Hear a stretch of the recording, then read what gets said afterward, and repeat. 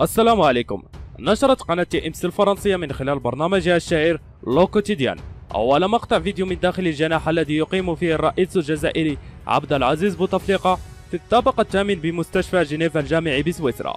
وبحسب ما بثته القناة فقد تمكن الصحفي الفرنسي الجزائري عز الدين أحمد شاويش من الوصول إلى الطابق الثامن في مستشفى جنيف الجامعي يوم الجمعة الماضي بالتزامن مع المظاهرات المليونية في الجزائر ضد استمراره واستمرار النظام. ووفقا للفيديو المنشور فقد استطاع شاويش الاقتراب من الغرفة التي يرقد فيها الرئيس الجزائري. وسأل رجل أمن سويسري الذي بدأ مندهشا إذا ما كانت تلك هي الغرفة التي يرقد فيها الرئيس الجزائري؟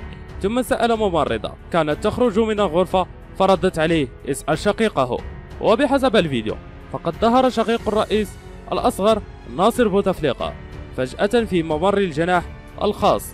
متوجها لغرفة أخيه فحاول الصحفي التحدث معه وطلب منه رؤية الرئيس لكن تدخل عنصر أمن سويسري لمنعه من التقدم أكثر ومغادرة المكان. والسلام عليكم.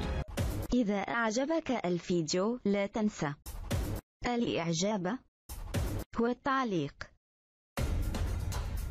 ولكي يصلك كل جديد. اشترك الآن.